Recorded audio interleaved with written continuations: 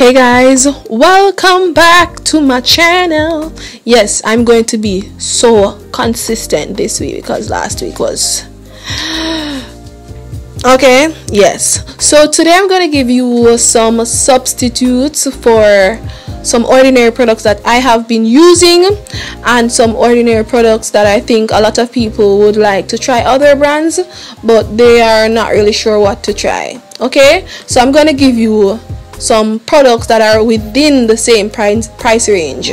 Like some of these products that i'm going to recommend maybe one product is not it's not the same price as you know what is advertised uh, what the what the ordinary um, market. It's not like the same similar prices. But they can be a substitute if you know what I say like the product itself. All right but I'm gonna share with you some products that are affordable and you can substitute or you can use these if for example you go on the ordinary's website and they don't have it. Okay? Right so we're gonna start first with my favorite the glycolic acid toner the 7% glycolic acid toner. So if you are if you love uh, exfoliating acids and for some reason you can't really use the glycolic acid toner or you cannot find it on the website or you can't find it anywhere okay? Main i think the main reason why not some someone would want something that works like the, the ordinary glycolic acid toner but does not want 7% glycolic acid toner. I would recommend the Inkey-List pha toner. And this is a very mild mild exfoliating acid. Also it is very very gentle on the skin Yes, so the pH toner is very, very gentle on the skin, so you don't have to worry if you want to exfoliate and you don't want the irritations that you would get from the 7% glycolic acid. Try the pha toner all right and if you want a little bit something with a like not so what what should i say now? It the, the molecular size of this particular acid is not as small as the or large as the PHA toner. You want something just a little bit um smaller that or a little bit what should I say? You want something that works a little bit a little teeny bit more you know faster I would say I would recommend the Wishtrends Mandelic Acid Toner. Why would I recommend the Mandelic Acid Toner if it's if it's toner that you want? I would recommend this because it is going to be gentler on the skin, but it will work. And I think this mandelic acid is 8%. I think I have this one mandelic acid coming soon. This one is 8% I think. I don't quite remember. Let me just put it on screen. But this mandelic acid will help you with your exfoliating. So if you want to exfoliate and you don't want to, anything too crazy on your skin you just want to exfoliate at a good rate as a you know very mild but exfoliate. Because i'm telling you this is potent even though it is mandelic acid it's still potent but it's just going to be gentler on gentler on your skin all right so if you want a substitute but you don't want pha toner because maybe you don't think it does anything for your skin then you can try the mandelic acid toner if the glycolic acid toner like doesn't work.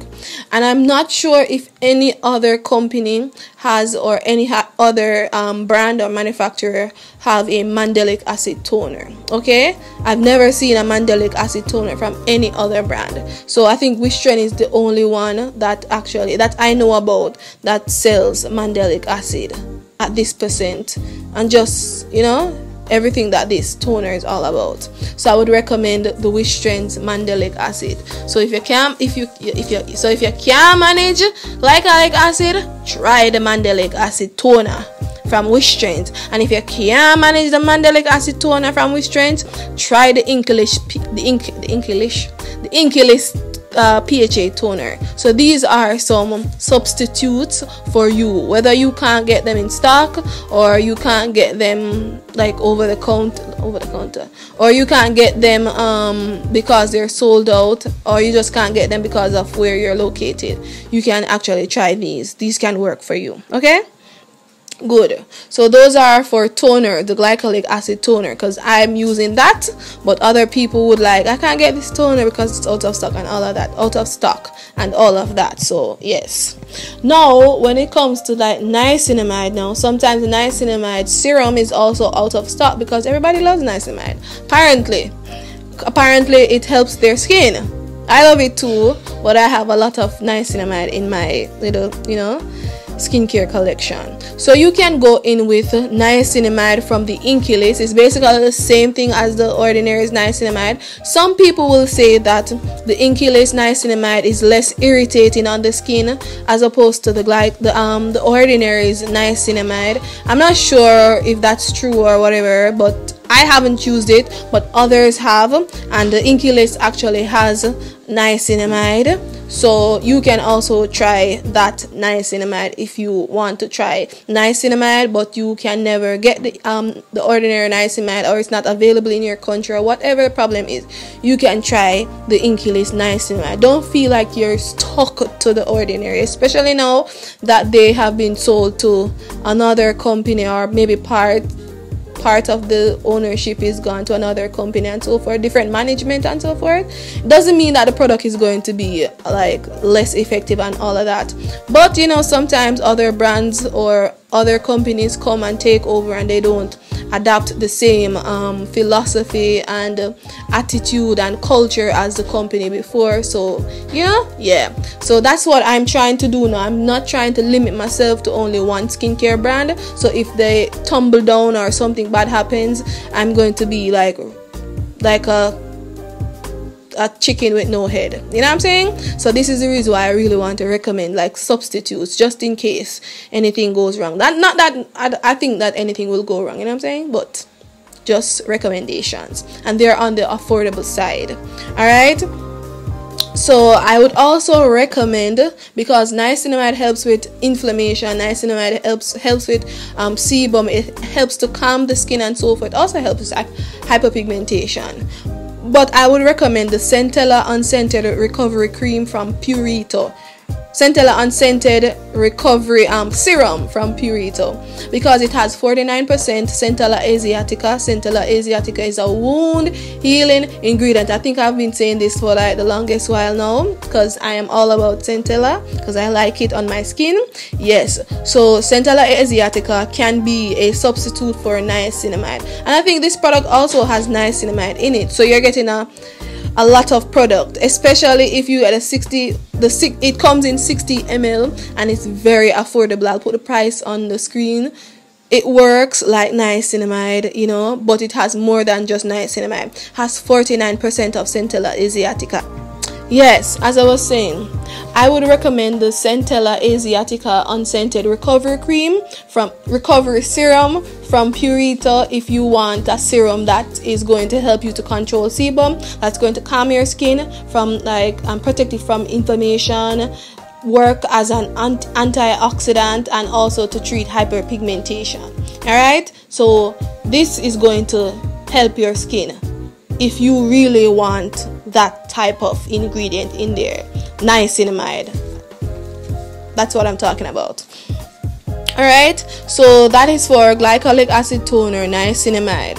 And the next one is alpha arbutin. I think I've spoken about uh, alpha arbutin so many times on my channel because it's actually one of my favorite ingredients because I struggle with hyperpigmentation. Okay, good. So alpha arbutin you can get the Inkey-List alpha arbutin.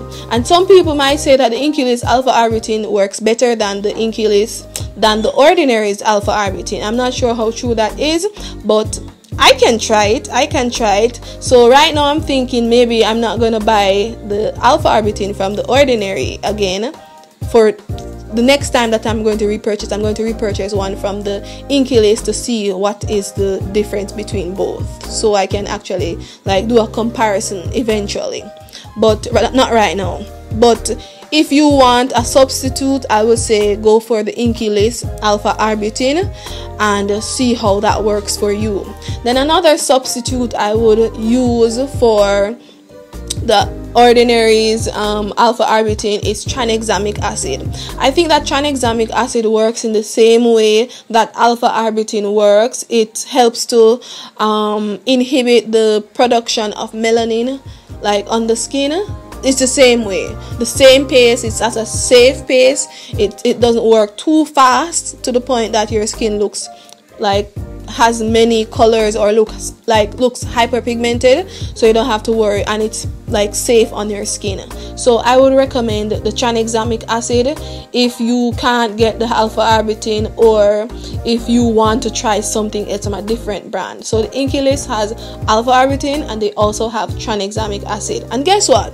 You can pair tranexamic acid with alpha arbutin so you're not losing. It's a win-win situation. All right then the next thing i would recommend for dark spots is the Make Prim Dark Spot Serum. Why would I recommend this one in particular? Because I'm using it now and I am seeing where it is working. Mm-hmm. Been using it since February and I'm seeing where it is working. I'm going to continue use it. I'm going to use it until it finish until I finish the bottle and then I'm going to come back to you and to share with you what I think about it. But in this ingredient or on or what should I say? This product has alpha arbit not alpha arbutin, arbutin, tranexamic acid, niacinamide. What else? It has um what's that ingredient? It has turmeric. So it has a lot of brightening ingredients in one little bottle and it also has vitamin C. You know what I'm saying? So, what if you are the person that doesn't like to buy a bunch of serums? You don't want alpha arbutin. You don't want to buy tranexamic acid. You don't want to buy um, a turmeric soap. You just want everything to be in one bottle. I would recommend this on the basis that it is going to help you to treat your dark spots and it's not going to be irritating on your skin. You're going to get vitamin C also and a vitamin C derivative. So they're just going to work together in order to treat your dark spot if that's your problem. The only thing with this one is it's a little bit on the it's a little bit more expensive i think mainly because it has all of these good ingredients in it and so forth but you can try it out if you want to really try something all right and then the next thing that i would uh, i would like recommend like a substitute is the azelaic acid 10% to be really and like to be really and truly honest i don't see any azelaic acid that is being sold currently at the price point that the ordinary sell selling their 10% azelaic acid. All right because azelaic acid is usually a prescribed um, medication. So you would usually get it from a doctor. You know what i'm saying? But azelaic acid has been on the market of re- like have been on the like the market and is being sold at an affordable price and it is sold by the ordinary. Like there i don't think any other brand sells azelaic acid 10% at the price point that the ordinary is selling theirs. But i would also recommend uh, the Paula's Choice azelaic acid. I wouldn't recommend it because I've i have used it before. I would recommend it because of what others have have like you know have said. So like persons who have used the um, azelaic acid um, the or from the ordinary yeah persons that have used the, the azelaic acid from the ordinary have said that the Paula's Choice azelaic acid. The texture is a little bit better than the ordinaries because some people have a problem with the azelaic acid, um, 10% from the ordinary because of the silicone feeling. So the next best recommendation is the Paula's Choice azelaic acid because it's more creamy and it absorbs a little bit better and it doesn't have that silicone texture. Okay, but it's same 10% azelaic acid. If you don't have a problem with the texture of the ordinaries, then you can try the azelaic acid from the from Paula's Choice. But just note that Paula's Choice azelaic acid is a little bit more expensive. So it's like maybe 20 US dollars more or 21 or 22 but it works the same way. I'm not really sure if there are any like azelaic acid that I could compare to the ordinary's 10% um, suspension but this is the closest one but it is a little bit more pricey. You know what I'm saying? Yes but it should work effective. Okay yes guys. So the next ingredient is retinol a recommendation that I would something that I would recommend uh, as a substitute for the ordinary retinol like the ordinary they have so many retinols I think they have like eight different retinol retinol retinol point one point two point one one point two point five and one percent. Plus they have different retinoids in squalane and all of that jazz. You know what i'm saying? But what would i recommend? Okay? As a substitute. Like for all of these i cannot recommend something for each individual one but what i would say if you are looking into getting retinols or introducing retinol in your skincare routine and you're like confused you don't know which retinol to choose from and all of that and in you just don't want to go through the process of you know researching and all of that and picking out and finding out which one is going to work for your skin or what can work and you know what i'm saying? You don't want to go through all of that but you want retinol. But you don't want um what do you say now? You don't want irritations. You don't want to be purging. Well it depends on your skin too because you can start using it and purge. But you don't want irritations and purging and all of that. You know what i'm saying? You just want something that's going to work a nice retinol derivative that's going to work for your skin and it is supposed to be low when it comes to irritation low irritate what do you say now? Like little to no irritations type of little to no irritations type of um, ingredient. The Inkey my recommendation. Why would I recommend it? Because I'm currently using it. I was worried about irritations, and this is the reason why I chose like two um, retinol, one one uh, 0.2 percent and 0.5 percent. Why did I choose them? Because that's what I want. But the thing is, I don't want the irritation you know what I'm saying? I don't want the irritation. So I'm like, I want something that's not going to irritate my skin. But I'm not really sure if this retinol is going to, from the ordinary, is going to irritate my skin. But let me just try something else that is not so, you know, not so strong and less irritating. Yeah. So this is the reason why I went for the Inkey-List retinol. So I've been using it once per week. No irritations so far. No purging. Really, I don't really see any purging going on so i'm going to recommend it on that basis. So it's a good substitute for just somebody that's a newbie and you don't want to go through all of the process of researching and so forth. The Inkey-List is a good um, substitute. And also it is ten dollars like the ordinary retinol they range from five dollars straight up to ten dollars or twelve dollars i think and Inkey-List is ten dollars then there's another one from CeraVe drugstore, all drugstore guys. CeraVe has this resurfacing retinol and they have this renewing daytime retinol. Resurfacing retinol is a PM retinol and it is supposed to work to rejuvenate, regenerate, and to give you um, to take care of your texture and just to gently exfoliate the skin.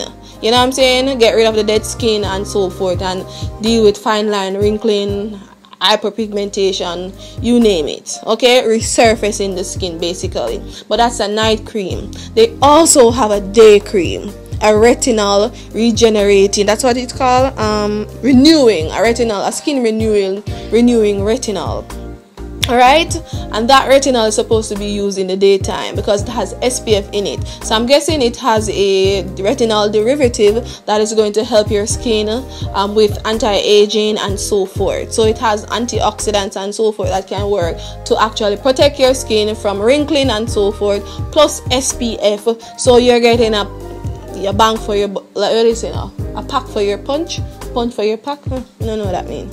But you're getting something that is supposed to work to take care of uh fine line wrinkling and you know with the sun with walking in the sun and daytime and uv rays and all of that we age. You know what i'm saying? So i guess this is going to protect you from anti-aging uh yeah it, it's going to protect you from the sun pretty much and protect you from aging pretty much. So this one is a daytime um, cream or serum or lotion, and then the others from the uh, from the ordinary PM um, retinol because you have to use retinol in the PM.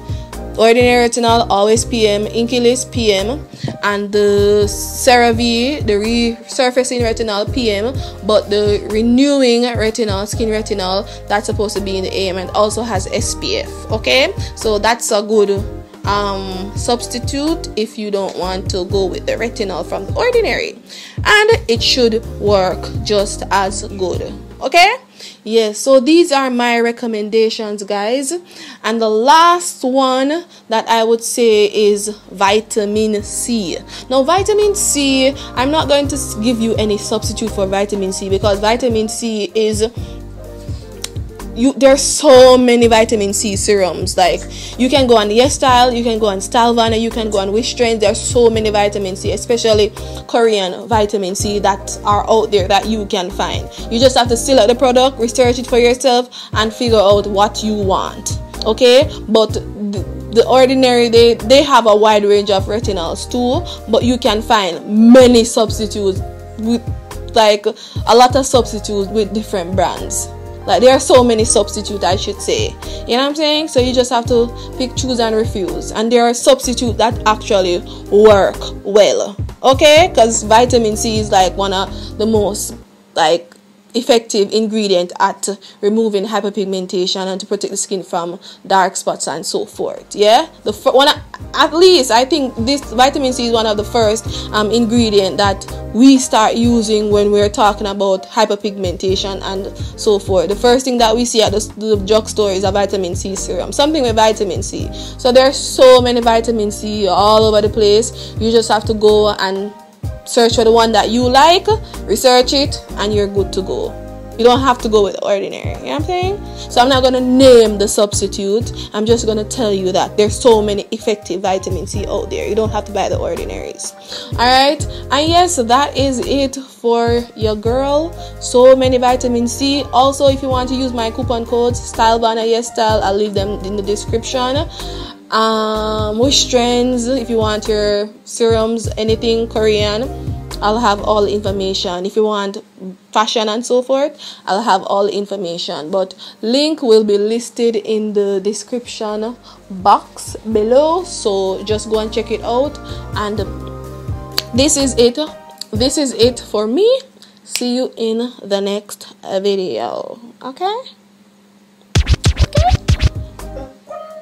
Oh, is that are we still doing that? Oh, yeah. Oh, I think that was like 2019 type of yeah, but oh, I like it. All right, this is it for me. Okay, okay, okay. Yes. So see you in the next one. Bye bye.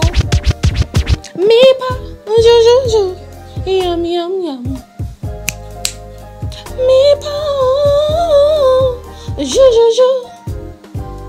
jo jo jo. Yum yum yum. That's how I feel whenever I like hear the word retinol. Jo jo jo. Yum yum yum.